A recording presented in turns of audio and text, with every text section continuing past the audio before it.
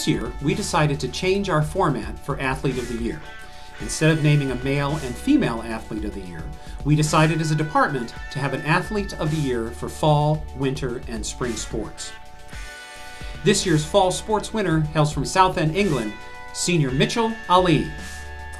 The AMCC preseason player of the year did not feel the pressure from the title given prior to the season.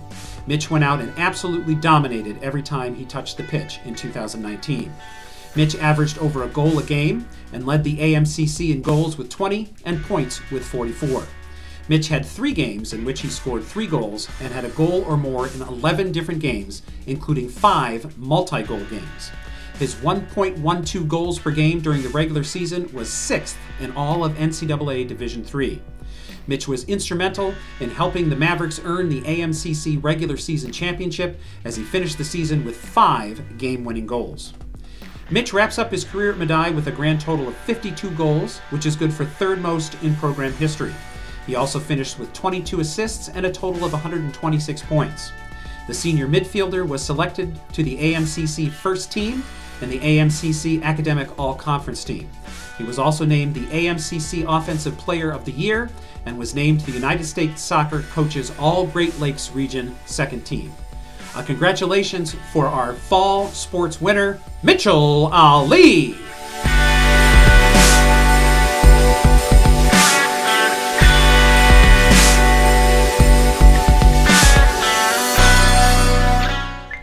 Next up, we have the Winter Sport Athlete of the Year, a freshman from Orchard Park, bowler Sarah Radt. Sarah was named AMCC Newcomer of the Year and to the AMCC All Conference First Team in her first year for the Blue and Gold. Sarah immediately made an impact, averaging 18.52 pins per frame in traditional format, while also compiling an 18.00 Baker average. She was also named AMCC Player of the Week on November 8, 2019. However, the accolades did not stop there for the freshman.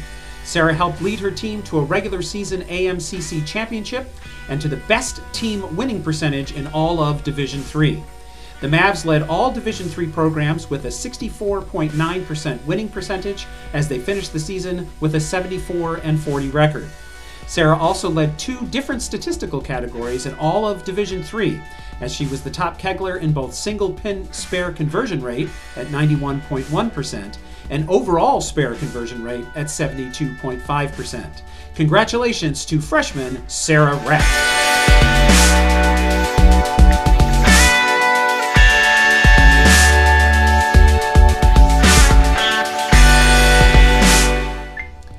This year's Spring Athlete of the Year is a senior from Clarence, New York, Emma Campagna. In the abbreviated season for the women's lacrosse team, Emma was terrific. She scored 17 goals and added 3 assists in the team's 4 games as they finished 2 and 2. Emma's career was quite impressive as she finished with 166 goals and 47 assists to finish with a grand total of 213 points. This ranks Emma second in career points and goals in program history. She also has six career game winning goals, 114 ground balls, and a career 468 shooting percentage on 355 shots. Emma finishes her career as a three time All Conference selection by the NEAC. Congratulations to Spring Sports Athlete of the Year, Emma Campagna.